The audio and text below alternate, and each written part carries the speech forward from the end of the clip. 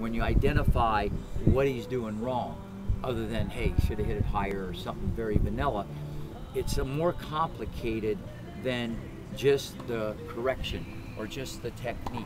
You know, uh, like Chris said, the elbow's coming in or whatever, that's going to take a little bit of time, and there's a lot of tricks I can do to kind of help that. But the main thing is the parameters of what we're trying to do. If those are just met, as he gets a little bigger and a little stronger, a lot of this is easier to pull off. Mm-hmm. Okay, because the strength does come into play. Because when the kids feel like they don't have the strength, they want to increase the radius of the swing, and that's where it's hard to hold some of these positions that we're talking about. But all that being said, I have kids younger than him, smaller than him that can do it.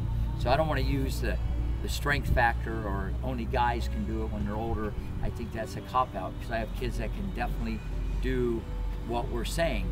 But it takes two to tango. You know, you got to keep reinforcing it, and the kid has to know what they're doing to reinforce it also. Ready? So if you remember, and last we worked, uh, we worked on having him hold it longer and stay his and arm left. watching over here. He didn't do it. Uh, he wasn't doing it. And while coach is here, let me explain that. And, and this is now, if you had a kid that was really, really tight, all right, really tight, you know, maybe letting go of the racket as a corrective technique to make them loosen up. I get it, all right.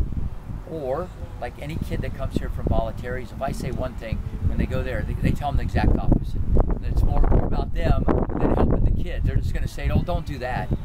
But I want the kids to hold on to the racket and the racket. When they hold on to the racket longer into this position, two things happen. Number one, the shoulder turn is very, very prominent, okay, and aggressive. When you can get them to hold onto the racket longer, they're going to emphasize this side of the body. As I told you guys, that's the number one mistake with most forehands around the world. That the people don't turn correctly. They open up way too soon. So the coach is saying, oh, your head's going back, your shoulder is, your left arm's doing this. They're correcting the symptom, but I'm just telling you, if you can keep his hand on longer and lock him into this position longer from the baseline, not running up. Running up's a different deal. From the baseline, it's, it, it solves a lot of problems. It's the number one mistake, the left side opening up on the forehand, because more can go wrong. That's why you see the two-handed backhand, people hit it better. They're just connected because of the two hands keeps them locked in. So, and with him, he would let go and just kind of get a little wild. Longer he goes, keeps it on, it's going to help turn the left. But here's the other thing: there's a higher probability. What Brian found out with almost all the kids, when we keep them on as long as possible, till the last second, they feel, I don't want to say rushed, but they feel they have to kind of hurry up and hit the ball, and they're kind of forced a little bit when they let go to feel like they got to swing from there and pull it. See, they, they swing from a three-quarter swing, where when they let go, or say he gets it here and lets go, then the racket can get a little bit back, or the elbow gets back, and all these other problems that we constantly have to correct, it seems, occur. And the ones that have held on longer, more younger kids, they keep it on longer, it doesn't happen. They, they've been able to get better sooner in our eyes because the elbow stays still, the hand has a tendency to go more to the outside because they wait long, almost till the ball hits, and then they do the stroke. And it's very violent dynamic at the end. Now, all that being said, if the kid was tight, maybe we tell him to let go, but this is more for him to be his own coach. Plus, the kids don't like to do it. When the ball comes over, they're thinking, I got to hit it. So they're already wanting to put their racket somewhere, and a lot of things, technically, with the way we're trying to do the stroke, start getting messed up. And the final Federer, let's just use him as a model, all right? Every time. And I mean every time. Hand stays right here. He's gonna go. He's gonna keep it on. He's gonna keep it on. He's gonna keep it on. And the space between the elbow and the body is about like this. Way back. It's way back. It's not here. Way back. But he has the hand on here still. Then he'll let go of the racket. So his unit turn, same thing on the overhead. He, he, he gets into the position. And it's the opposite arm, the opposite hand, that's a very good teaching tool. But if he does it, I think that's one reason everybody should do it, if nothing else. Even though I'm not saying do it because Federer does it, I'm just saying he does it, by the way. And I'm sure there's a lot of other guys that do the same thing. I mean, Andy would put the racket like this and then let go.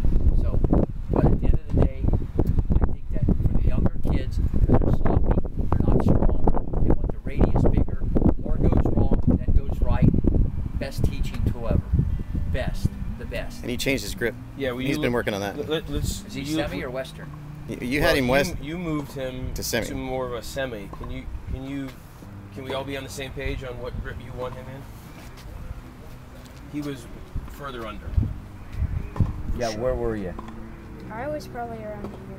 Yeah, if he can go semi, I'm just telling you, there's unless he had amazingly fast hands, which he does have pretty good. What was hands. happening is he was going. he was end up like this when he was western, and he didn't like that because it was it was actually. Has to. It's it yeah. So you wanted him out here. So he's been working on it. He just Well, it has to. See, look, if I hold the racket with a continental and I have my hand this way, and then I go to an eastern, and then I go to a semi, and then I go to a western, you can see when I go back how the hand is gonna it changes the orientation of the racket. So it just gets complicated. Then you get the kids end up doing this. They go, yeah. they start playing like that a lot with their hand. So if he can go semi, that's because the grip orientates the racket face. So yeah, for sure. Have him take his lumps. You get more power. You'll still get the spin. Semi's the way to go. And he doesn't have to go quite as far. We never talked about this on the return of serve. Okay, and I'm not saying he can. I'm just saying when you start getting s- big Western grips on the return of serve, I mean it gets to be hairy when the balls come fast. So you don't have as far to go. It doesn't seem like that's a big deal, Yeah. but you know it's No, what I it's do. a huge deal. It's huge. You send up. There's some guys that are so far under. You know, Jay Berger when he used to play, he would just say, "Heck with this." He Yeah, slice sliced. the return. He sliced every everyone. First hand, he didn't. He just every first serve he would chip. And there's guys out there that do it now because they know the guy's not coming to net, so they even do it. Some of these guys that are way under, even on the tour, that would be tough to do. So back to what we were talking about. What I want him to do with with his ground stroke is the whole concept is once he goes here, you don't want the elbow to move. Okay, you want the elbow to extend. Now, where it extends, I don't know if it was him or someone else. You want to be a little bit more to diagonal, but you want the hand to be on this side of the body. I just don't want. We don't. Can't do the stroke what we're talking about if the racket's going like this. That's like a girl stroke, you know, and the racket goes this way, and then it's a semicircle. We want elbow up in this position, okay? Right there, doesn't matter where. Then the elbow doesn't move, he just goes this way, and then he pulls the racket. Now the problem is when the kids pull it, they go like this, okay? And what you want to have happen when you pull it, you want to get the elbow to come up, and that's the difference between. You see guys like Federer and Djokovic, they're hitting the ball like that, or even if he did this pretty good, he's going to pull it and the kids come back in. A little bit of that is strength. So I don't want anybody to freak at that, okay. okay? Because that, that I just seen kids do what you say he's doing, and then in a couple years, okay, I see them more like this, and they don't come back in. Okay. Because if you can get this to that position, you just engage the shoulder so much better on the stroke. And that's what these guys with the best forehands do. So that's why you don't want the elbow really coming back in. So show me what, what you're doing real quick before I start feeding you. Time out. See, to me, he just let go of it. He has to be all in with this preparation. He has to be all in, like what I call loaded and locked. He should lock the preparation. Chris, I thought he should lock it and hold it. You see these guys? It, it looks like they're they're they're just waiting like this. It looks like, where you watch the kids. That's why you see them. They they look like they're all over the place, and the kids have more times than the guys on TV, but they don't do it. You got a lot more time, but they're anxious mentally, so they let go and they start doing this stuff. And I'm not saying it's wrong, but what we see is there's a lot of mistakes that occur with the elbow position.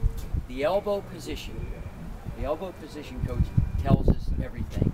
And I'll get into this on the forehand back. It, tells us everything about what goes on and where things should be. Unit turn, bang.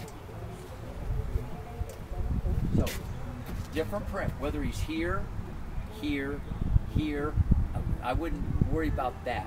The main thing is If he, go ahead, grab the racket. What? Relax a little bit. What happens next?